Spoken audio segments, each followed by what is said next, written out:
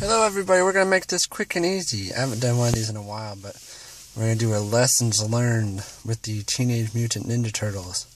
Dun, dun, dun. Anyways, um, the last three days, it snowed constantly. Do you want to look? I will show you.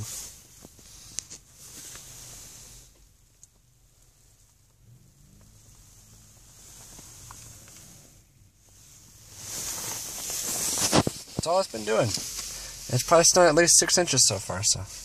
Fun, fun. So this is for you people who live in colder climates with snow. Pay attention. Be courteous. Be slow. Take your time. If you need to leave a little early, leave a little early.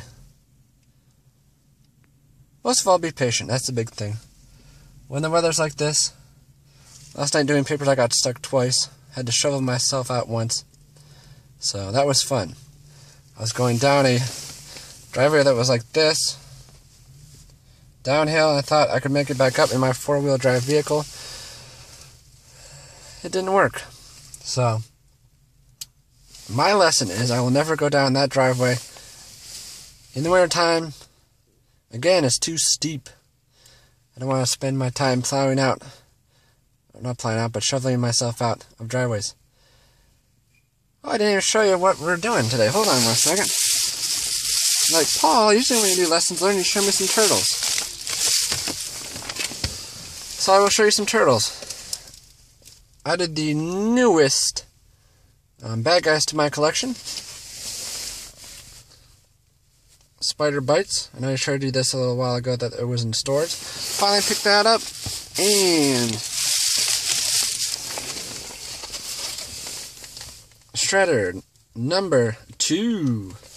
So, if you look at take a look at this, Bad Boys back.